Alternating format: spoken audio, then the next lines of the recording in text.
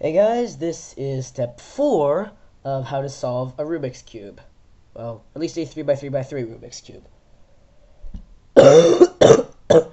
Sorry, I have a bit of a cough. So, to do this, we're going to solve the blue cross. So, blue, blue like that. It doesn't have to be aligned, so that'll be the next step. Alright, so, what we have here, we've got the middle layer, we've got all that, plus the green face. So we'll do the blue cross. Now, if you look at the top, there's going to be three possibilities. Here, there's a line, and here it's blue.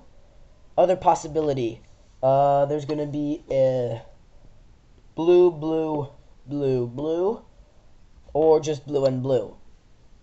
In any case, just the, the same formula or algorithm, I don't know why I call it formula, but the same algorithm will work in any case. So, you may have to do this once, twice, or three times, depending on what the pattern is on the top. So, here is the formula. Okay, watch closely. F R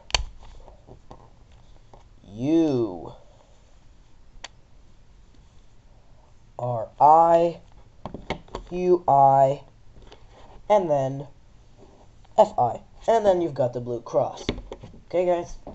Bye. That was step five, four. Next time in step five, we'll align the blue cross. Because as you can see here, you may have one side which is aligned. Like here I've got the red side, but here it's white when it should be yellow, and vice versa. And so is it on most of the sides. Anyway, thanks for watching.